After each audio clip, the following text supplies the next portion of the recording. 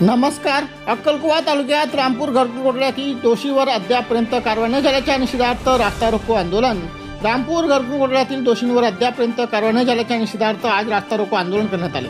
यावेळी रामपूर ग्रामस्थांसह शिवसेना उद्धव बाळासाहेब ठाकरे गटाचे विधान परिषदेचे सदस्य आमदार आमशदादा पाडवी यांच्या नेतृत्वाखाली अक्कलकुवा तहसील कार्यालयासमोर रास्ता रोको आंदोलन करण्यात आले.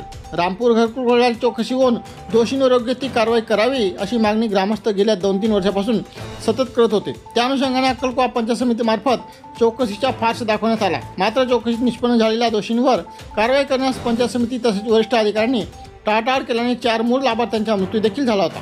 त्यामुळे त्यांच्या मृत्यूला प्रशासन जबाबदार असल्याचे आरोप मृत्यांच्या नावासदारांनी केला. त्यामुळे अधिकाऱ्यांवर दो सदस्य मनुष्यवधाचा गुन्हा दाखल व्हावा तसेच घरकुल सहभागी असणाऱ्या अधिकाऱ्यांवर कायदेशीर कारवाई व्हावी यासाठी ग्रामस्थ आग्रही होते. मात्र त्याची प्रशासनाने वेळीच दखल न घेतल्याने ग्रामस्थांनी आंदोलनाचा इशारा दिला होता. तरी देखील प्रशासनाने योग्य ती दखल घेतली नाही म्हणून आज अक्कलकुवा तहसील कार्यालयासमोर शेकडोच्या संख्येने रस्ता रोको आंदोलन करण्यात आले. या आंदोलनात विधान परिषदेचे सदस्य आमदार पाडवी रामपूरचे सरपंच अमेसिंग पाडवी माजी सरपंच कुवरसिंग पाडवी तापसिंग पाडवी एकता परिषदेचे किसन महाराज आदिवासी महासंघाचे हिरामान पाडवी शेतकरी सह सहकारी संघाचे चेअरमन पृथ्वीसिंग पाडवी शिवसेनेचे तालुका प्रमुख मगन वसावे उपजिल्हा प्रमुख मगलसिंग वडवी विनोद वडवी उपप्रमुख ता- तुकाराम वडवी टेडग्या वसावे काना नाईक वीरेंद्रसिंग चंदेल निलेश वसावे अशोक पाडवी आनंद वसावे रवी पाडवी प्रकाश पाडवी ललित जाट नटवर पाडवी नासिर बलोच आदींसह रामपूर ग्रामस्थांसह शिवसेना उद्धव बाळासाहेब ठाकरे गटाचे पदाधिकारी